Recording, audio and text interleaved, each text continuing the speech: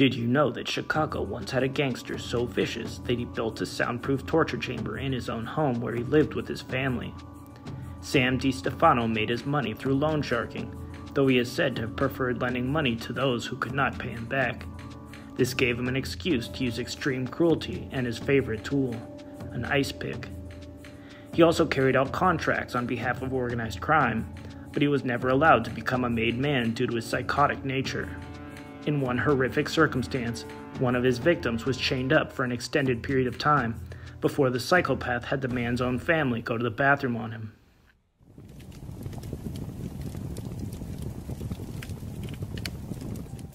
Keep in mind that the majority of Sam DeStefano's victims were degenerate gamblers, and so their names have been lost to time. But those that we do know of give us clear insight into the actions and mind of Sam DeStefano. Now, before we begin, if you could do me a favor and hit the like button, and if you're not already, subscribe. Thanks. Sam DeStefano was born on September 13, 1909, in Streator, Illinois. His parents were Italian immigrants who had come to the U.S. six years before.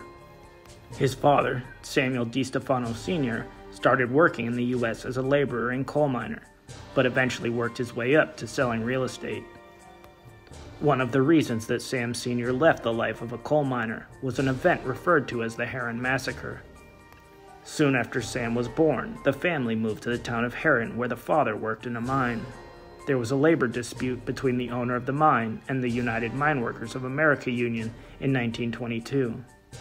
The conflict culminated in a shootout between the striking union members and the mine's guards. 23 people would end up losing their lives in the conflict. The DeStefanos would end up leaving Herrin after the confrontation, moving to Chicago's Little Italy. In Chicago, the young Sam would start getting into trouble, associating with a gang of youths on the west side. In 1927, DeStefano and another boy named Ralph Orlando were arrested for assaulting a teenage girl and were found guilty of committing one of the most vile crimes against her. Sam was sentenced to three years in prison, and considering the crime, it seems like an extremely light sentence a teenage girl had been kidnapped and assaulted by a group of seven gang members. After getting out of prison in 1930, he would join the 42 gang, which was led by Salvatore Giancana, who would later become a leader of the infamous Chicago outfit. The organization was involved in illegal alcohol sales and gambling, in addition to other operations. Many of the members of the 42 would go on to have careers in the Chicago Mafia, but DeStefano would never be able to cross over to made man. Sam would also be on the receiving end of some of the violence, such as being injured by a cop during a grocery store robbery in 1932 and showing up at a hospital a few months later with gunshot wounds. This crime spree culminated with an arrest for bank robbery in 1933 in Wisconsin. DeStefano would be sentenced to 40 years, but had this sentence commuted by the governor and released in 1944. In 1942, while he was still locked up, Sam Sr. passed away at 77 years old. Three years after his 1944 release in 1947, Sam would be back behind bars after he was caught running a counterfeit ration coupon operation. This time he was sent to Leavenworth Prison, where he rubbed shoulders with established mobsters from the Chicago outfit, such as Paul Ricca and Louis Campagna. These connections would come in handy when he was released and got a job back in Chicago working in the local dump. Once back home in Chicago, he would also soon begin his loan sharking operation. DeStefano would fund this operation with business that he had from his days before prison, and he would also use the illegal proceeds to buy real estate and manipulate local politics, eventually holding influence over aldermen, judges, and policemen but it was in the process of collecting debts that Sam's true evil showed itself. While the point of lending money is to earn money from the interest incurred, he had a different goal. DeStefano is said to have lent money to gamblers and did not shy away from doing business with people that he knew would not be able to repay the loan.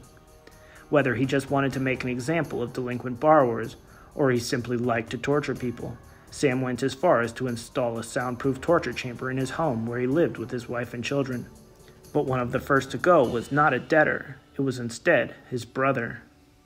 The monster had brought his brothers, Mario and Michael, into organized crime. And while Mario was a good fit for the lifestyle, Michael had issues adapting. And these issues led to addiction problems, as he struggled to cope with the pressure and violence. But the mob cannot have loose ends or weaknesses in their criminal pursuits. The outfit passed down the order that Michael had to go. Eager to live up to the expectations of his bosses, Sam carried out the hit. On September 17, 1955, police got a report of a body in a trunk in Chicago. When they arrived, they found Michael DeStefano, who had been shot, but not in the head, and there had been efforts to clean him up. It is suspected that Mario helped Sam carry out this crime. For victims who were not family members, Sam preferred using an ice pick over firearms. When someone was unable to repay their loans, he would get them into his basement torture chamber, then use the ice pick to coerce them to find a way to get the money that they owed. Sometimes he would go too far and simply ended their lives, whether intentionally or accidentally. One of these targets was a man named Arthur Adler. Adler was a nightclub owner, and one of his businesses was the Tradewinds Cafe and Lounge. In early 1960, he had run up quite a debt with Mad Sam and ended up in the creature's basement. Early on, though, in the process of encouraging him to find a way to pay Sam back, Artie's heart gave out, ending the monster's fun prematurely. So Sam stashed his body in a sewer where it would remain until it was discovered on March 28, 1960, by some road workers. Sam was soon a suspect and was visited by an FBI agent named William Roemer. He would describe a bizarre scene. DeStefano would meet with him wearing pajamas, with certain parts of his body hanging out and clearly visible. The creature's wife would serve them coffee, which the agent would later find out had been urinated in by Sam. One of the most brutal crimes that DeStefano would commit was against one of his own collection men, named William Action Jackson. The large man was used to intimidate borrowers into paying their debts, but there was no loyalty between him and Sam. When Jackson was accused of working with the feds, he was immediately added to the hit list. In early August 1961, Jackson was brought to a meatpacking plant. There he underwent a horrific session of torture and depravity. Bats, hammers, cattle prods, ice picks, a firearm, a blowtorch, and a meat hook all played a role. But through it all, Jackson denied that he had informed on any of his fellow gangsters. Eventually, he was left hanging from his sensitive area on the meat hook, where he would pass away after three days. Action Jackson's remains were found in a trunk on August 12th in Chicago. Leo Foreman was a real estate agent who also moonlit as a lender for DeStefano. After he came up short in his payments to Sam, the gangster confronted him, and Leo ended up throwing him out of his real estate office, enraging Sam. So his brother Mario kidnapped Leo and brought him to the infamous basement. Once again, the violence used was extreme, with hammers and bats being used to break his kneecaps, sensitive area, and hands. A knife was also used to remove portions of skin from the body, and an ice pick was jabbed into him repeatedly. Eventually, Sam got tired of playing with Leo and used a firearm to finish him off, leaving the body in an abandoned car. Those who owed Sam money were not the only ones targeted, and even his own family were not off limits. In one case, after his wife made him mad, Sam kidnapped a man at gunpoint and forced him to have relations with her as he watched. By the mid 1960s, law enforcement was hot on Sam's trail looking for any reason to bring him in. And in May of 1964, they got what they wanted. Sam was charged with illegally voting because, as a felon, he was not eligible but he saw it as an opportunity to put on a show. Sam arrived to the courthouse wearing his pajamas and riding in a wheelchair. After several outbursts, the judge told him to be quiet, at which time Sam whipped out a megaphone and began shouting, earning himself a charge for contempt of court. Another of Sam's employees who earned his wrath was a man named Peter Cappelletti.